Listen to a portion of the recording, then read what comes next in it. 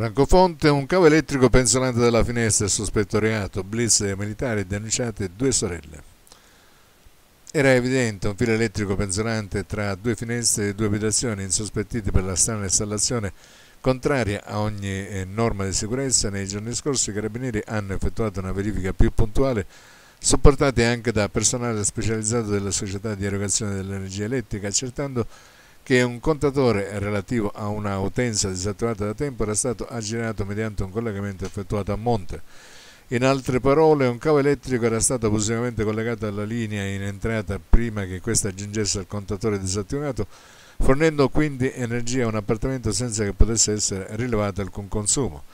È risultato infatti che gli impianti delle rispettive abitazioni confinanti, dove due donne vivono con le proprie famiglie, erano abusivamente collegati alla rete elettrica pubblica. Conclusione degli accertamenti tecnici condotti dai carabinieri della stazione di Francofonte, i due titolari degli alloggi in questione sono stati definiti dall'autorità giudiziaria con l'accusa di furto aggravato, in quanto la legge prevede che la corrente elettrica, ancorché sia un bene immateriale, sia considerata alla stregua di un qualsiasi altro bene mobile.